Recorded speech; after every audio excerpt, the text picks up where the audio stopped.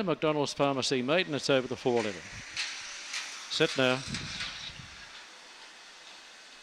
Open Mind, Fearless Rose High, Lisa Rose High, and Logger Pepper all begun well. And out on the outside goes the Brainstorm Ralph, but getting through the inside now, Lisa Rose High. She'll lead Open Mind, who's coming again. There's Brainstorm Bob whipping around the outsider. Rainstorm Ralph and Logger Pepper for the back of the end. Oh, check out Charlie. And a long way back now would have been Stella Rose High, and with it was Fearless Rose High. Open Mind got another go on the inside. Brainstorm Bob the outside, bobbed on the line. I reckon Brainstorm Bob got Open Mind. Either Rainstorm Ralph or Lisa Rose High. Followed then check out Charlie. Welbeck was uh, Stella Rose High. So too was Fearless Rose High. In front of them was check out Charlie.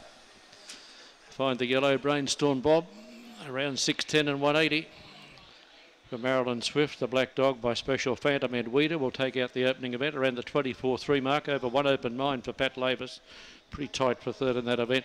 15.40 for the run home, 24.36 the overall.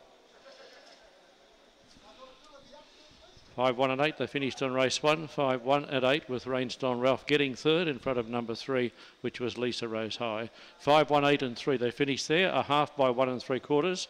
Half by one and three quarters. 24 and 36 the overall. 24 36. Went out in 892 and 1544 was the run home.